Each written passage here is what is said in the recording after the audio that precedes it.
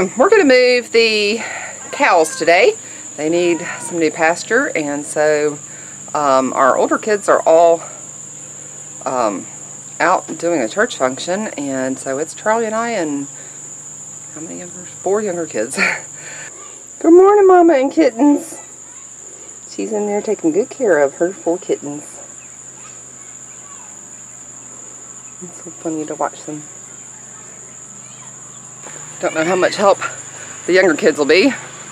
And me and my nutty self, I seem to have misplaced the tripod that I just bought.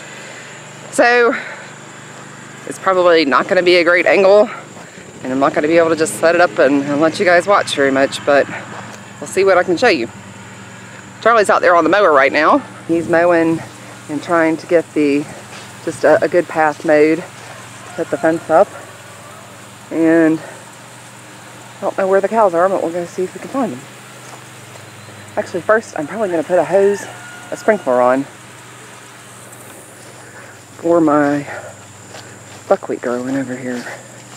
So let's set that up real quick.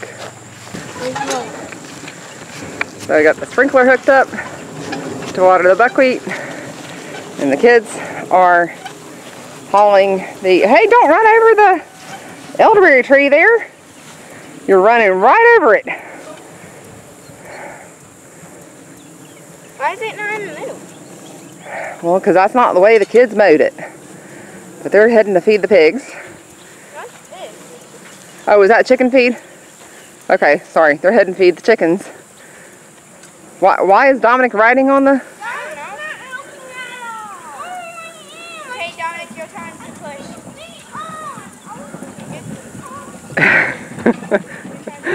Whatever makes the boat float.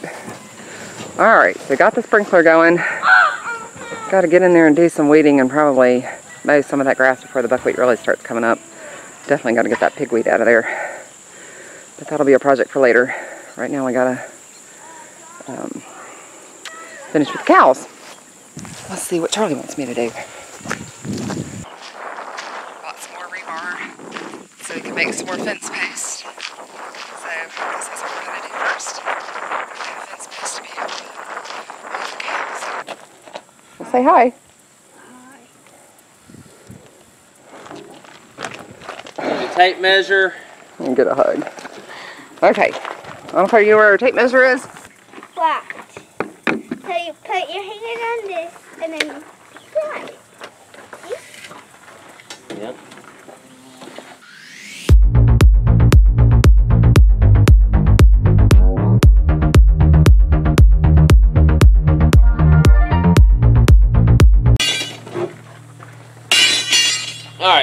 Alright, find the wheelbarrow. We ended up with what, 12 more posts? 3, 6, 9, 12. So, the bag of insulators.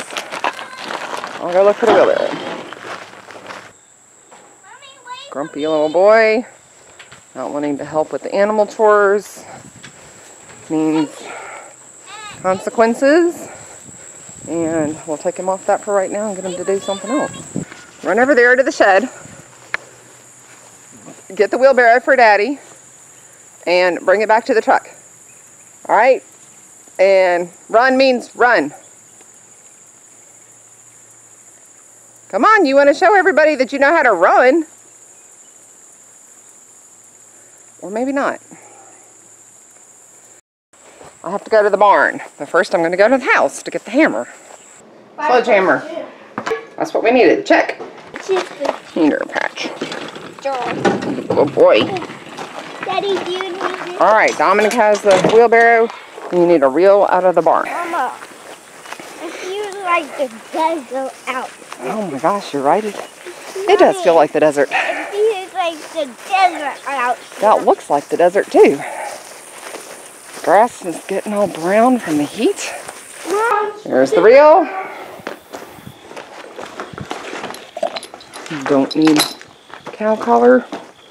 Why in the world somebody put rocks all over the reel? I don't know. Here we have the reel. You want to carry it? It's heavy. It is heavy. Here, mommy. I can hold the camera. And you can hold the camera. Me. All right, we'll let you for a little bit.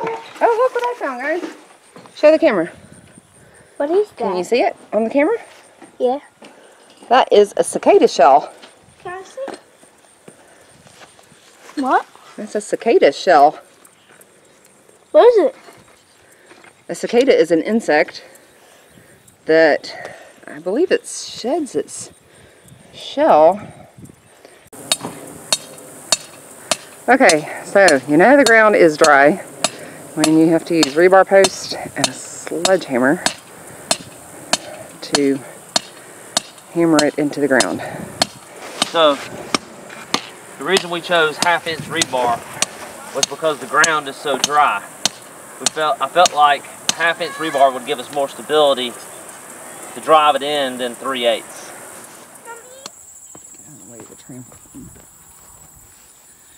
So we got the cows moved into the new pasture closest to the house.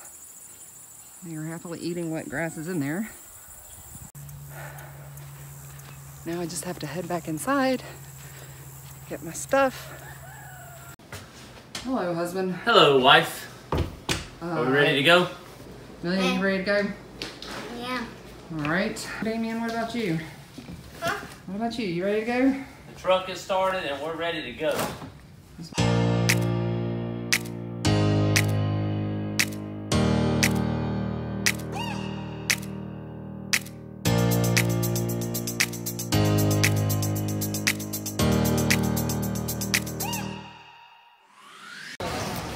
Two different grinder blades to cut tile and a pencil to hopefully mark the floor. wanted to buy this. All right. Well, hopefully that will do the job for us.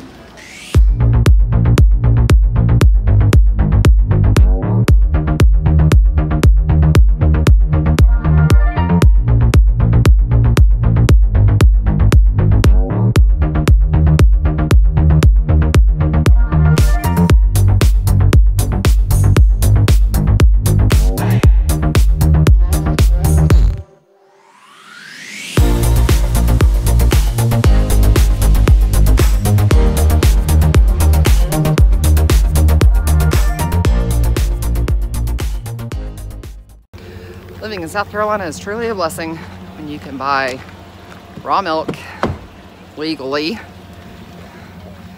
And so we are very fortunate we were able to do this. We come and get seven gallons of milk every two weeks. And it pretty much gets us through. I do usually supplement a little bit by buying um, non-homogenized milk from Earth Fare so that um, I use that to make yogurt. and I do um, pasteurize my milk. Um, anyway when I'm making yogurt just because that tends to um, give me a better quality product.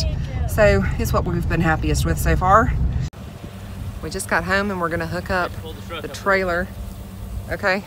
Um, with an IBC tote so we can water our orchard up here because it's so dry